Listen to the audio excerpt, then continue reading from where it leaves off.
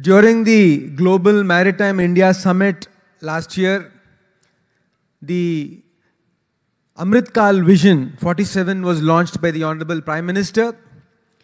And it had 11 themes, and one of the main themes there is cruise tourism. The Honorable Prime Minister has time and again been emphasizing the importance of tourism in general and cruise tourism in particular because of the employment opportunities it has, the growth potential it has, and the huge ability to connect people across from across the globe and of course from within India. And it is as part of this vision that we are launching this mission. Vision is always followed by mission, as all of you are aware. And this mission aims to make India a cruise